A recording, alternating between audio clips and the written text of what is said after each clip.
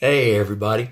I got a fun little story for you today about my grandma from the chapter in the book called Tales from the Pig Pen. It says, Mama used to go out and feed the hogs.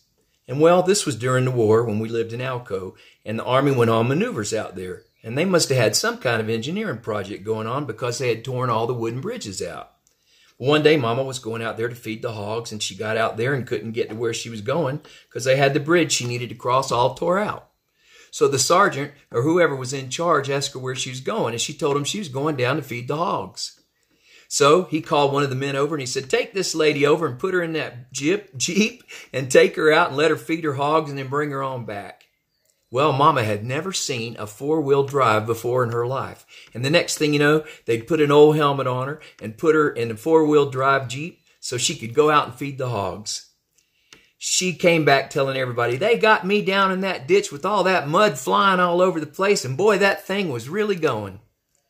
So she got to put on an army helmet and take her first ride in a four wheel drive, all cause she had to feed the hogs. So Mama had an adventure.